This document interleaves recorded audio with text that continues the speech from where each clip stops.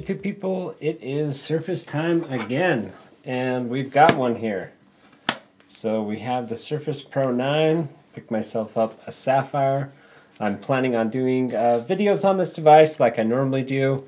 Um, I'll be upgrading it to a 2 terabyte SSD, show you how that goes. What I wanted to do today is take a look at the history of where we've come from the original Surface until the Surface Pro 9 and what the performance looked like.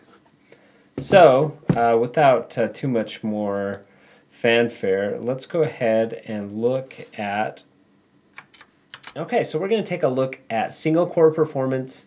We're going to take a look at multi core performance and also the GPU performance of the entire Surface Pro series from the very beginning, starting with Surface Pro all the way up to Surface Pro 9. Uh, and at the very end, I'll kind of show you what I'm seeing for the Surface Pro 9 figures. There's some surprises, there's some predictions that I had in previous videos that I think are becoming validated. So if you watch my previous video, you know what I'm talking about. But Surface Pro uh, 0.9, Pro 2 went to 1.14, 1.17 on Surface Pro 3. Uh, Pro 4 went to 1.42, 1.8, really casual regression throughout the years uh, sorry, not regression, uh, uplift throughout the years, uh, bringing us all the way to Surface Pro 8 with 2.6, which is, you know, almost three times the performance of the original. Pretty good. Let's look at multi-core performance. And this, uh, we were stuck on two cores for a long time on the Surface Pro series.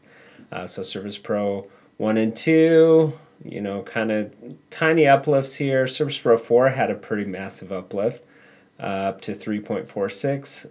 Surface Pro 5 or the 2017 model went to 4.44.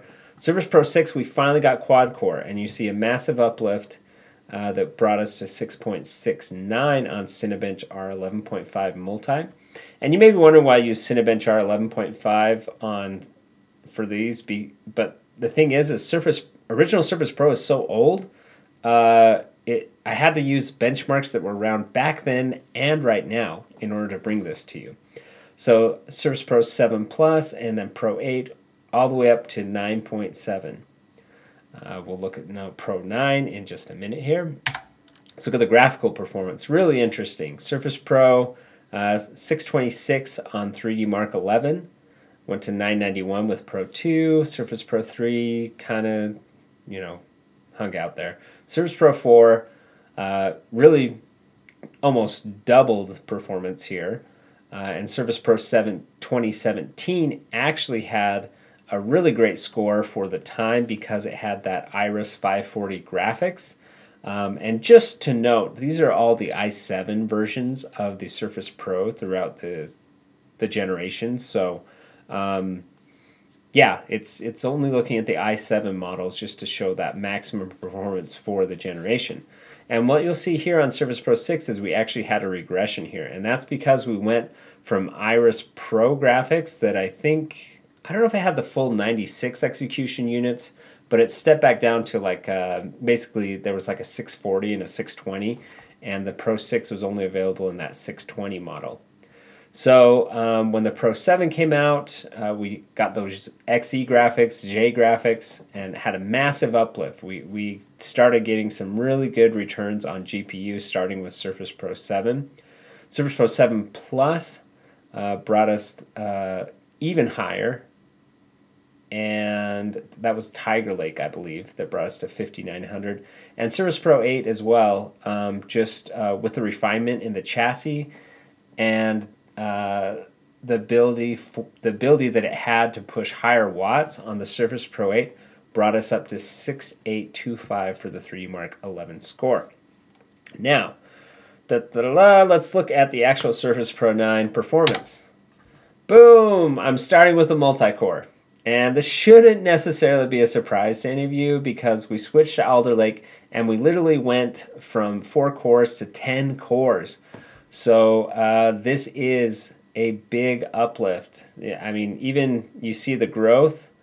It's a it's a it's a big uplift to 19.36. So really cool to see that. Um, But uh, let's take a look at single core and GPU. So single core, uh, pretty linear improvement. Single core bumped up just a little bit on Surface Pro 9 to 3.01.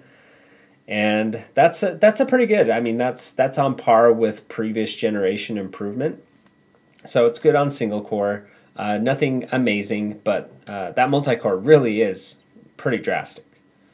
Let's look at 3D Mark 11. You can see that we're kind of running into this situation again, although not as bad. Uh, what we're seeing is uh, Alder Lake's iGPU just is not quite as strong as the previous generation. And I'm not sure what that is, but uh, definitely this was a 1.3 gigahertz, and the new Surface Pro 9 was a 1.25 gigahertz. So slight regression in GPU performance, but uh, that's kind of what we, what I predicted, and what we're, what I'm seeing in the benchmarks now.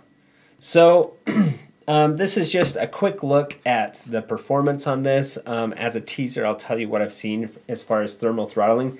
A really similar chassis to the Surface Pro 8, and things look really good uh, in terms of thermal uh, dissipation.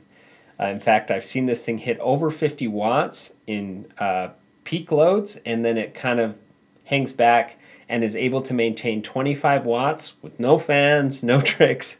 Uh, 25 watts for a really long time. It eventually slows to maybe 22 or so, um, but that is uh, really good uh, performance and heat dissipation for this size of device. So uh, I, like I said, just because this is a 15 watt chip, I knew Microsoft wouldn't tune it to 15 watts.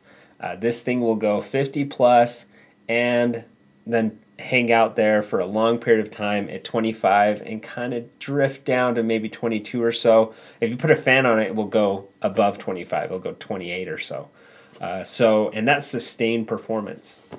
So, um, there'll be more videos on this. Uh, hope you enjoyed this. Just wanted to make something brief and let you guys uh, have a little preview from my perspective. Hopefully you enjoyed it. And we'll see you on the next one. Subscribe and we'll see you again.